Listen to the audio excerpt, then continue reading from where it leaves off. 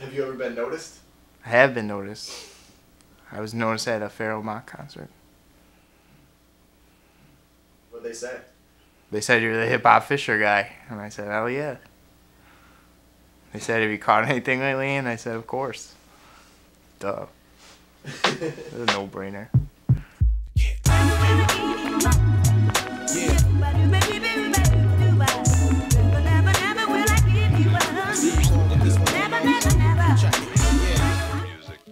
I'm JP, JP the HHF, aka JP the Hip Hop Fisherman. I've been fishing for a long time, but started serious at a young age.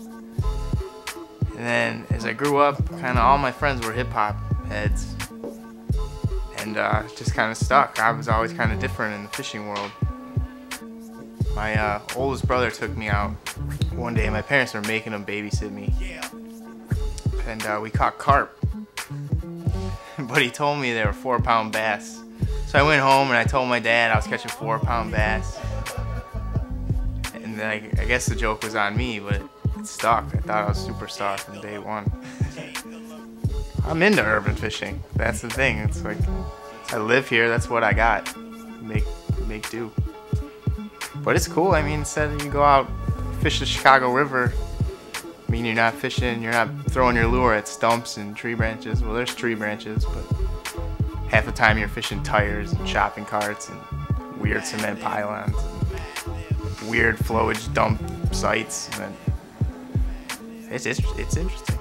Fence jumping, security, the harbors, been a problem for me. Apparently, I fish too close to yachts. I tell them I know what I'm doing, but they don't always believe me. So Are you pretty good with your cast? Pretty, pretty accurate? I would say I'm pretty good.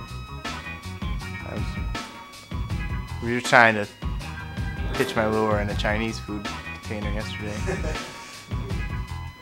I was coming from. I was close. I think I did I it think you once. it once, I yeah. did it once. Uh,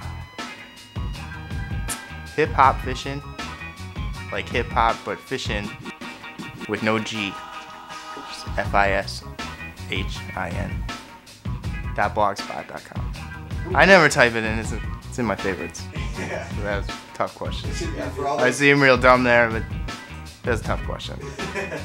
I put fishing reports, album reviews, rappers get arrested. I put it up there.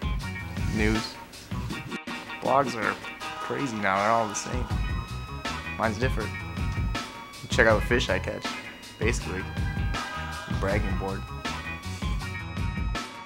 I want to go pro. I want to win tournaments. I want you to see me on ESPN, not looking like the other redneck dudes who are currently on. I'm not going to look like I'm just one NASCAR. I'm going to look like I look now.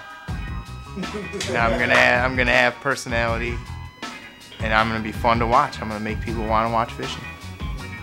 Make the kids want to watch fishing. It's all about the kids.